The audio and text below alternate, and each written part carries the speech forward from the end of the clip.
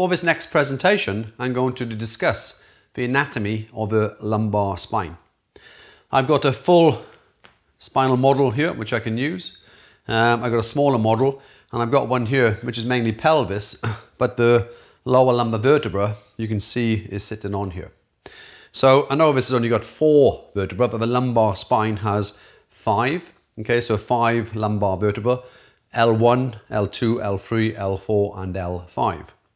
And in comparison, there are many differences between, say, the lumbar and the cervical, and that goes through the size of the vertebral bodies, yeah, the size of the spinous process, yeah, etc., etc. But if we look here initially, so this will be, let's say this is L1. So this is L1 vertebral body, 2, 3, 4, and naturally L5 will sit here. In between, you can see the blue structure. So this will be the intervertebral disc. And we've got in the whole vertebral column 23 intervertebral discs. The outer covering is known as the annulus fibrosus, and then the center fluid is known as the nucleus pulposus. The vertebral body comes around. So let's say I'm a vertebral body and my arms come out, they stick out almost like a stump. So this is called the pedicle where they stick out. So you've got the pedicles, yep, either side.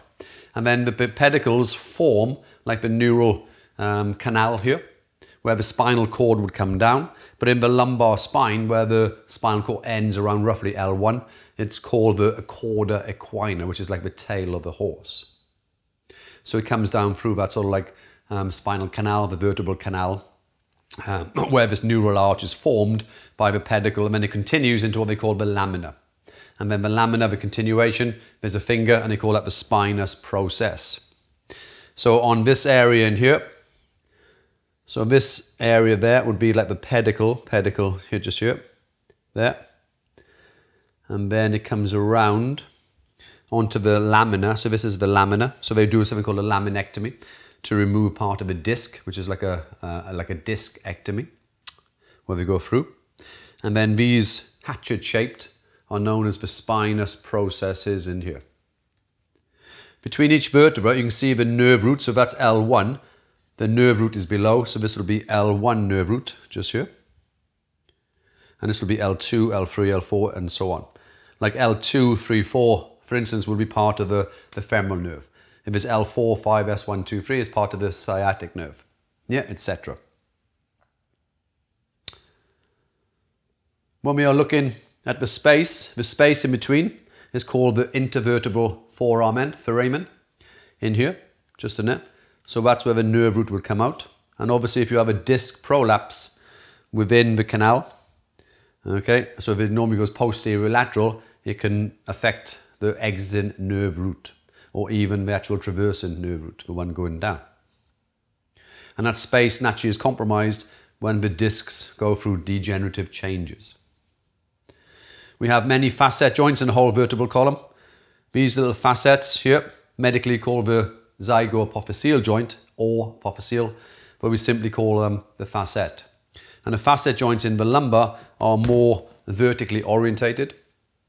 And roughly speaking, you've got about one to two degrees of rotation per segment. So within the lumbar, it's only about five to 10 degrees. So when you are rotating, obviously the legs, the feet, the pronate, supinate. Um, the hips will internally, externally rotate. The thoracic spine will rotate, but not much movement comes from the lumbar.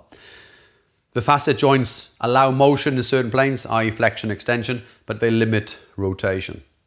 The reason why you've got the facets is because they are they stabilize they limit motion but allow motion. If you didn't have the facets, then more likely your spine would become degenerative very soon. As in, by the time you're 30s, you'd have a condition called spondylosis rather than getting like osteoarthritis when you are, say, 60 or 70. So um, the facets almost like prevent you from getting too many degenerative changes. And then when they start to become irritated, you get little bony spurs called the facet joints forming around there. And that is a introduction to the anatomy of the lumbar spine. And thank you for watching.